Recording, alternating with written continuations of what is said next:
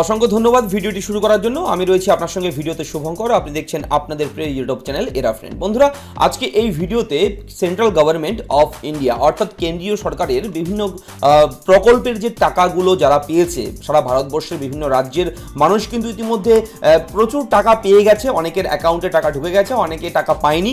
এবং আপনার নামটা, আপনার যে নাম, সেটা কেন্দ্রীয় সরকারের কাছে নথিভুক্ত রয়েছে কিনা, সেই, কোনো প্রকল্পের। তো অবশ্যই কিন্তু আপনারা চেক করতে পারবেন। আমি সম্পূর্ণ প্রসেসটা কিন্তু এই ভিডিওতে আপনাদের সঙ্গে শেয়ার করব। অবশ্যই আমার সঙ্গে থাকবেন।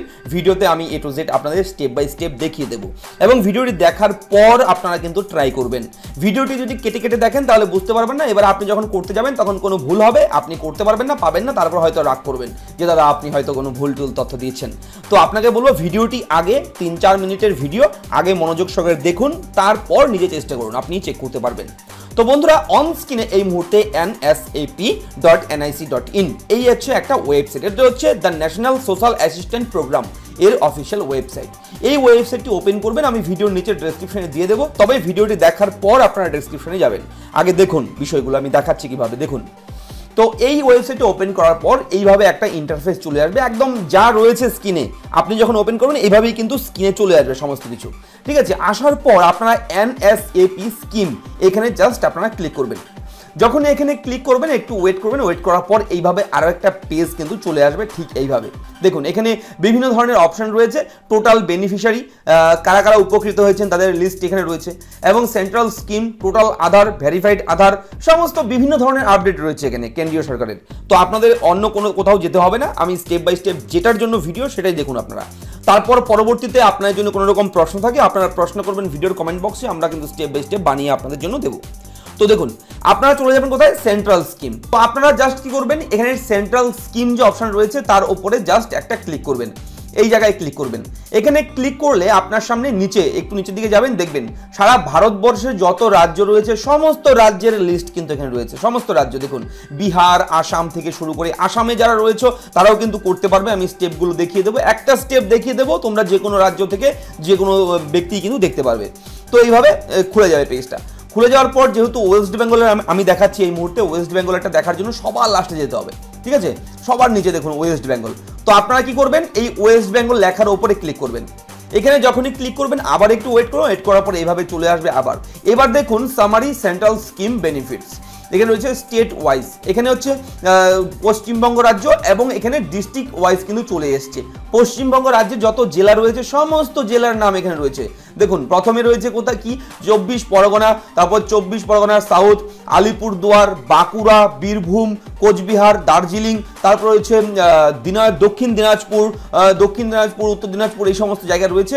হুগলি, হাওড়া, জলপাইগুড়ি, কালিম্পং, কলকাতা, মালদহ মুর্শিদাবাদ, নদিয়া, পশ্চিম বর্ধমান, পশ্চিম মেদিনীপুর পুরুলিয়া, পূর্ব মেদিনীপুর, সমস্ত জেলা কিন্তু রয়েছে এখানে আপনারা কি করবেন আপনার যে জেলা, সেই জেলার ওপরে আপনারা ক্লিক করবেন।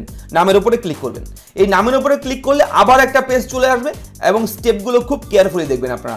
এবার দেখুন, আলিপুরদুয়ার জেলার যত ব্লক রয়েছে, সমস্ত ব্লকের নাম কিন্তু এখানে চলে এসছে। এখানে ব্লকের নাম ফালাকাটা, কালচিনি, কুমারগ্রাম এখানে মাদারিহাট রয়েছে। সমস্ত ব্লকের নাম চলে এসছে। এবার আপনার যে ব্লক আপনি সেই ব্লকে ক্লিক করবেন। তো আমি আপনাদের দেখাচ্ছি কুমারগ্রাম দিয়ে। কুমারগ্রামে ক্লিক করলাম। তো আপনারা কিন্তু আপনাদেরটা ক্লিক করবেন। আমি দেখিয়ে দিচ্ছি আমারটা দিয়ে। এবার আপনারা আপনাদেরটা ক্লিক করে দেখবেন। আমি স্টেপগুলো জাস্ট দেখিয়ে দিচ্ছি আপনাদের। এবার দেখুন সেই কোমাগ্রাম ব্লকের যত অঞ্চল রয়েছে সেই অঞ্চলের নামগুলো চলে এসছে, ঠিক আছে? তো আমি এখানে দেখাচ্ছি আপনাদের কোথায় রায়ডাক এই রায়ডাকের দেখাবো আমি, ঠিক আছে? এই রায়ডাকে ক্লিক করব।